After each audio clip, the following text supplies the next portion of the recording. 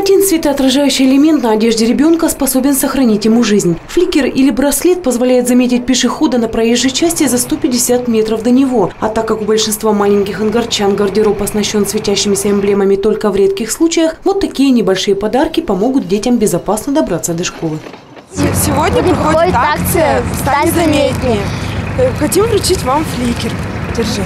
В мероприятии было задействовано пять отрядов юных инспекторов движения под руководством взрослых сотрудников ГИБДД. Пять экипажей дорожно-патрульной службы обеспечивали безопасность на местах проведения акций. А В общей сложности мы вручили юным пешеходам около 600 э, фликеров. Э, Это светоотражающие значки, которые позволяют э, быть заметнее пешеходам на проезжей части. Я думаю, наши дороги станут безопаснее после тех мероприятий, которые мы проводим с детьми.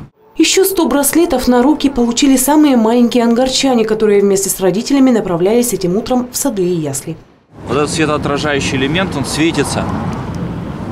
Когда ты его оденешь на куртку, тебя все водители будут видеть, когда ты идешь по дороге.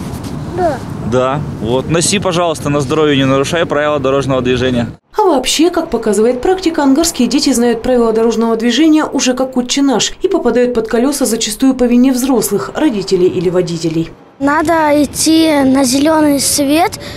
Если нет светофора, надо переходить через пешеходный переход, когда становятся машины. Ежегодно с приобретением фликеров помогает область и руководство ангарского отдела ГИБДД. К полномочиям местных властей это не относится, хотя чтобы обеспечить светоотражающими значками младших школьников, больших расходов от муниципального бюджета не потребуется. Ольга Дерибера, Михаил Трышкин. Местное время.